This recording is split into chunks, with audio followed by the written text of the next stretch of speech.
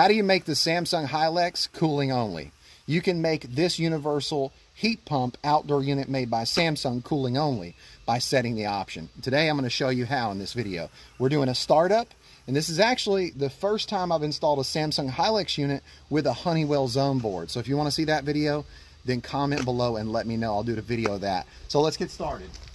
So we've got a manual. Manual is your best friend. Read the manual. And on page 23, you're going to see we have these options, right? Snow accumulation prevention mode, silence mode. But over here on page 24, where it says dedicated mode for cooling or heating, we can see segment two, step seven, right?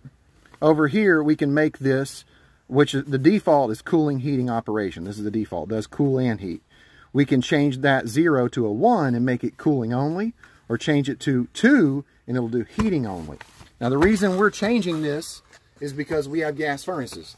So for the heating operation, we're going to operate our gas furnaces and use natural gas as the fuel. All right, so here's our board. We've got four uh, little keys. We're gonna hit the one that's K2. This is the second one, right? It says 0000.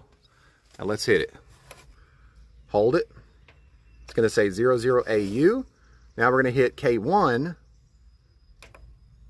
until we go to 0, 07. 6, 7. Now you can see the default is set 00. 0. Now we're going to hit K2. Now it says 0, 01. Now we could make it heating only by 0, 02, but we're going to make it 0, 01. Now hold. That way you save the setting. There we go. Now it's set for cooling only. If you want more videos like this, go check out my playlist, HVAC Tips for Technicians. If you like the video, hit the like button, subscribe, and smash that bell. Ding! So you know what I'm doing.